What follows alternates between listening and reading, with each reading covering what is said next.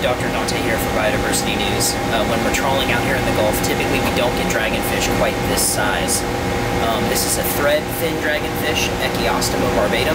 Uh, you can see they've got this great set of teeth. Uh, you also notice that brightly colored organ behind the eye. That is a photophore. This fish produces light from that photophore. Also, off of the chin, you see this barbel right here. At the tip of the barbel is a structure that glows in the dark, and that is um, an organ that the fish uses to help uh, draw potential prey items into striking distance.